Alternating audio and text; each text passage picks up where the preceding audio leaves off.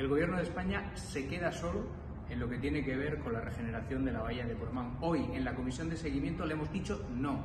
No a la alternativa que proponían, la 4B del estudio de alternativas que implicaba no regenerar la bahía de Portmán. Ha sido unánime el consenso.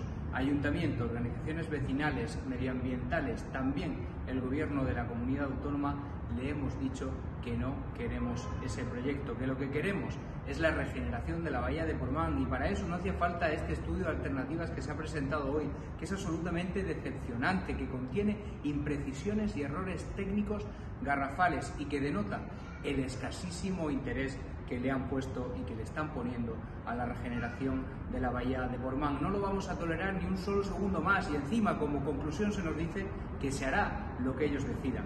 No vamos a pasar por esto. Vamos a luchar por la regeneración de la bahía de Portmán.